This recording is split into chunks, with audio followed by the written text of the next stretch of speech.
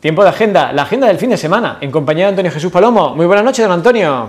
Pues en la agenda de actividades para este fin de semana tenemos las siguientes. Este viernes a las ocho y media de la tarde se inaugura la exposición 50 años de piedad una muestra que se va a encontrar en el Centro Cultural Santa Clara hasta el viernes 25 de julio. Es una exposición organizada por la Cofradía del Rescate con motivo de los 50 años de incorporación de la Virgen de la Piedad a las salidas procesionales de esta hermandad antequerana.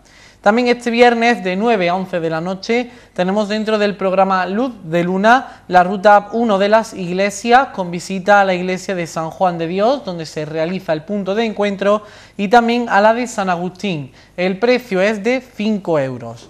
Y también durante este viernes, sábado y domingo eh, tenemos en Los Nogales la feria, una feria que dará inicio este viernes a las diez y media de la noche con el pregón a cargo de Lorenzo Romero Bravo.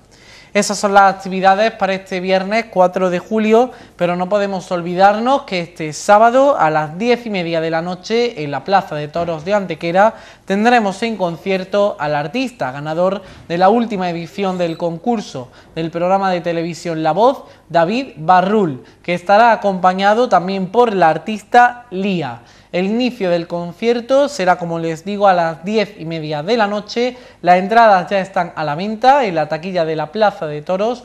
Y bueno, si os parece, pues vamos a escuchar a este artista con uno de sus últimos éxitos, que se titula Estoy hecho de pedacitos de ti. Vamos a escucharlo y con él cerramos ya esta agenda que nos da la bienvenida al fin de semana.